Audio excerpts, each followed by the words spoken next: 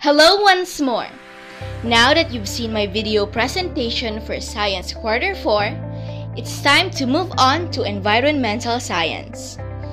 Throughout this quarter, we have performance tasks like writing an essay about what life would be like without the sun, making a poster about preserving our natural resources, and tree planting.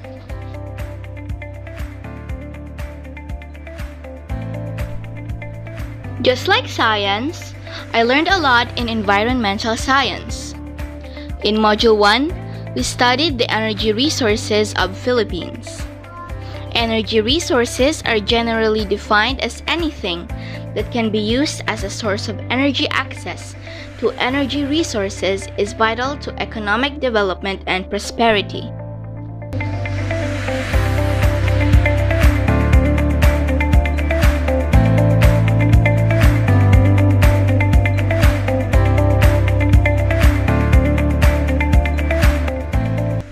In Module 2, the topic was the utilization and exploitation of our energy resources. Energy is a very precious commodity.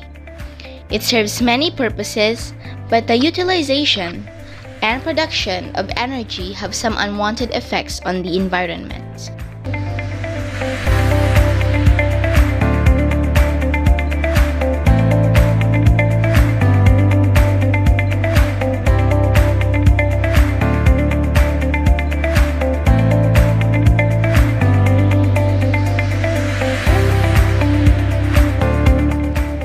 And in Module 3, we learned the importance of sustaining our resources.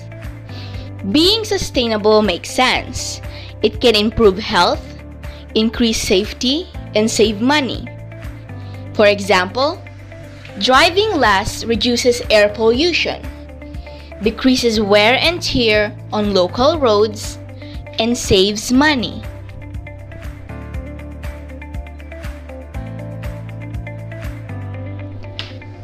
Module 4 taught me the environmental laws and policies in the Philippines, its different republic acts and purposes.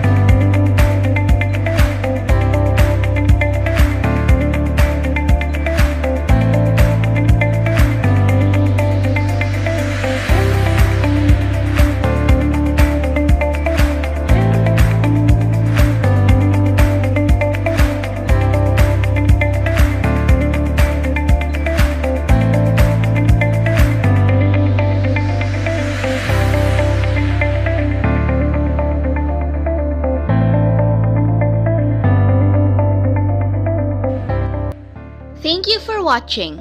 and I am pleased to announce that I have completed Environmental Science for grade 7.